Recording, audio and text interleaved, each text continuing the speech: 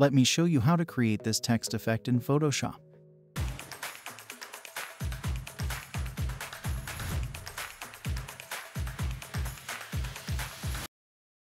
Start by writing your text. This is the font that I am using. Set the color to orange and then press OK. Now go to Layer Style and choose Stroke. Follow these settings.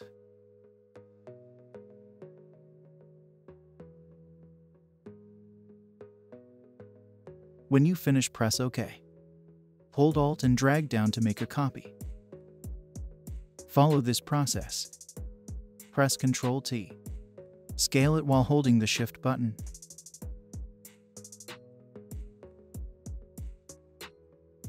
Change the color to white and then press OK.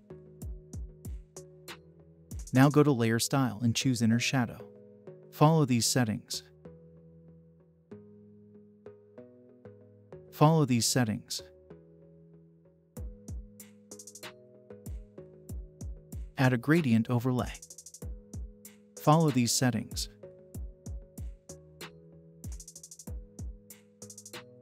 Follow these settings. When you finish, press OK. Follow this process. Add an outer glow. Follow these settings.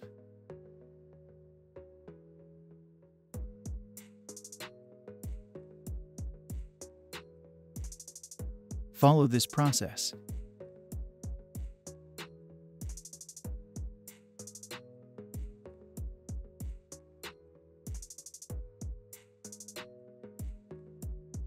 When you finish, press OK.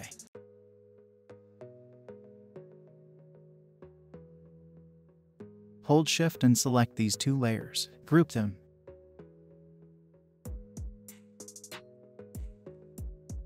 Now go to Layer Style and choose Stroke.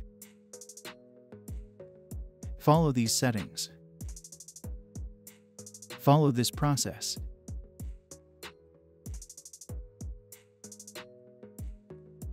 Add a drop shadow. Follow these settings.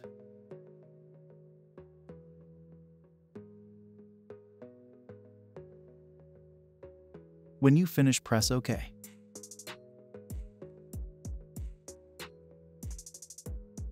Create a new layer. Drag it to the back. Set the foreground color to black.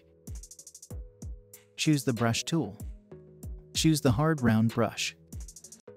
Follow these settings. Follow this process. That's it.